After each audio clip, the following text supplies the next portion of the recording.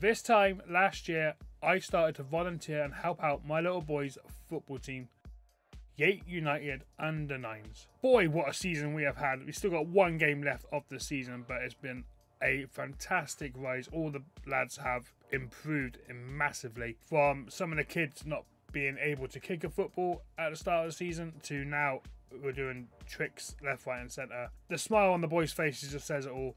They enjoy playing football. They are now becoming a strong football club and a team, and great friendships are being made there. I've still I still see people now in the street who I played football with when I was 8, 9, 10 years old. We still chat about the good old times and the saves and the goals and you know, and that is what being a part of a football team does to someone from grassroots football. So I thought, how far could I take my boyhood club? Team I started playing for when I was six, seven years old, which is now my son's team. It's a weird circle of life. How far can I take him in football manager? Mind you, we will be starting at the lowest league we could. We could go lower, but I haven't got that long till FM 25 comes out, let's be honest. So we're going to start in level 10. And that's still 10 steps away from the Premier League. It's not going to be easy. And for that, we need a special database. And there's only one man you go to when you want a database that big, that special, that low down. It is, of course, Dan FM's database. It does go down all the way to level 20, but we're only going to do level 10.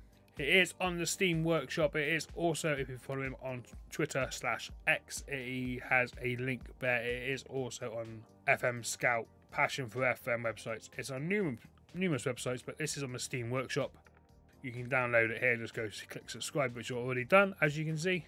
Now, Yate United are a very small football club. In the past year, they have now combined themselves with Yate Town Football Club. So Yate United are from under sevens to under 16s. Next season, there's going to be an under 18s team, but it's more for the Yate Town side. So once to leave under 16s and go into under 18s, and be Yate Town under 18s, and Yate Town then grow and Yate United to grow. The club's 53 years old, and this is the first time they've ever really collaborated with another club, so local club at least. And the future is bright at the moment for Yate United. The boys currently play at Yate Outdoor Sports Complex, which is located just behind Brimsham Green School. On Google Maps, you can actually see our pitch. This is it, looking lovely because they are under nines. We only play seven aside at the moment. So this size of a pitch is absolutely fantastic for us. Uh, Yosk is behind us there. That's the Yosk main centre. You've got a running track going around. You can just see it in the distance. So We'll zoom in a little bit. There you go. There's the, the running track behind. And behind these here is the other pitches, which are used for 11 aside, 9 aside.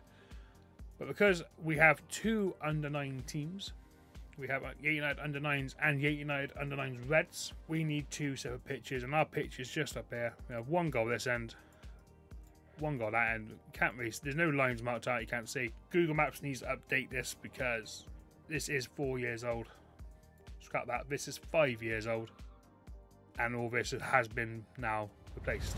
So with the managerial style, we have gone coaching badges based on Yate United, which is a national aid license, and our past playing experience. I'm a volunteer. You know, I've got no past playing experience. We are a Sunday league footballer, and they've been quite nice in all fairness. Coaching attributes been quite nice, tactical, mental, and set pieces.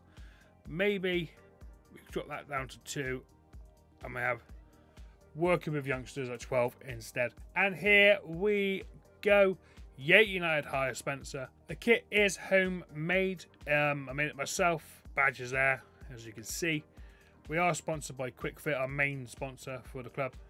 But today, Yate United have today confirmed the appointment of Lee Spencer as the club's new manager. Eyebrows have been raised in the world of football at the appointment of the inexperienced 37-year-old, and he is sure to face plenty of questions when he faces the media for the first time at Yate Outdoor Sports Complex. Carl Rose was considered to be the favourite for the job, but it's unclear whether the club favoured Spencer all along. I'm not sure who Carl Rose is. There you go. But hashtag people not players.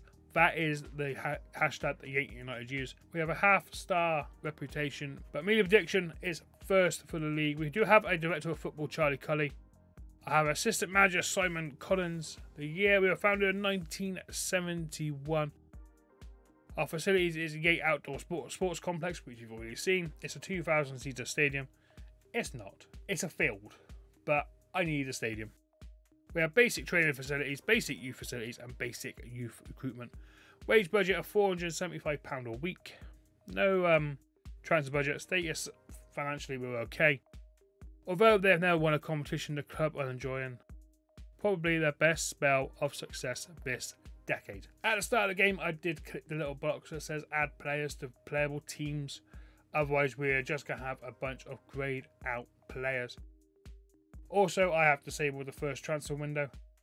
So the players we got should be here for the majority of the season. I have no idea how good this team is going to be or how bad it's going to be. It's completely out of my hands. So let's see what this squad looks like.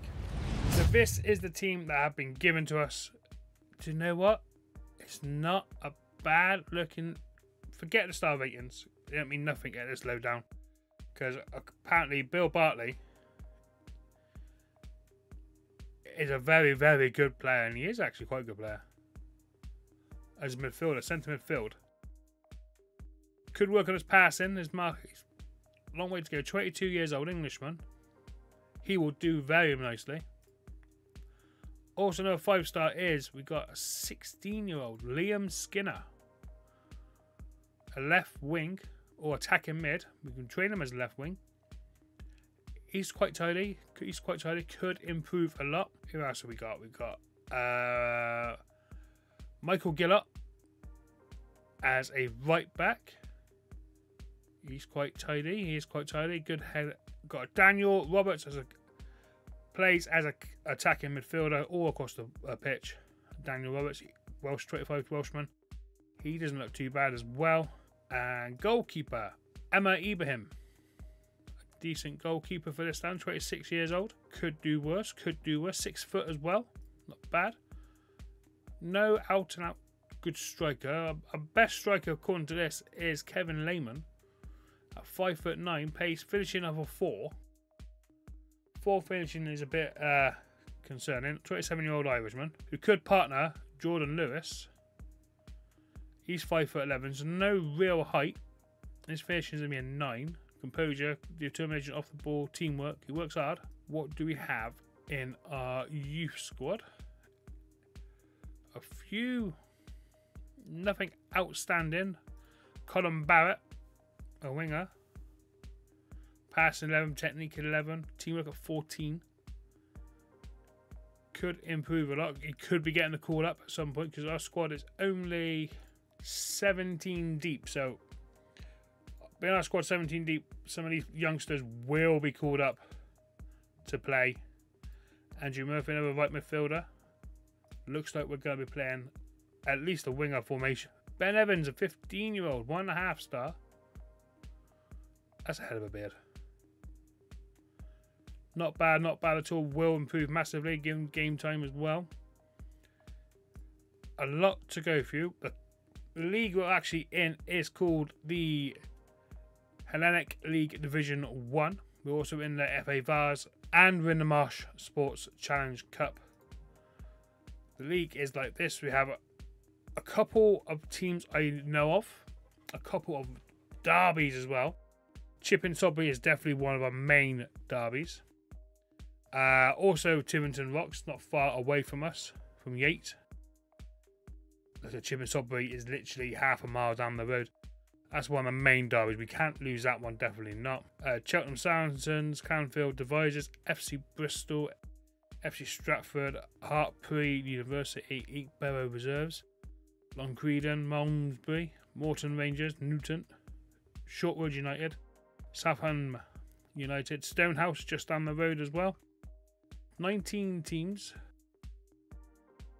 Season preview, we are second to go up behind Hartpury University at 5 to 1 favourites.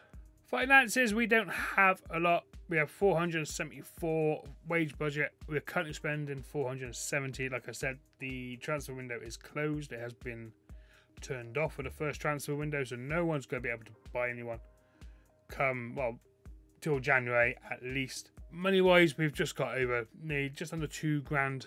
Um, hopefully, over the course of the season, that will grow the further we go in the cups. We're looking good. We've got the three kits. We've got the home kit, the red, which is red and black. We've got the away kit, which is yellow and black. The special edition white kit, which I think looks pucker, looks fantastic. And our schedule for the season, we start with a trip away to Devizes town and then a home tie to Ink Barrow Reserves. That is going to be in the next episode. We're going to run through preseason. We'll sort the squad out. We'll sort the tactics out. We'll do a little bit of tactic talk before we get into the into the first game of the season. If you have enjoyed today's episode, just smash the like button, hit subscribe if you haven't already, and I will see you all very, very soon for the next episode of All or Nothing Yates United.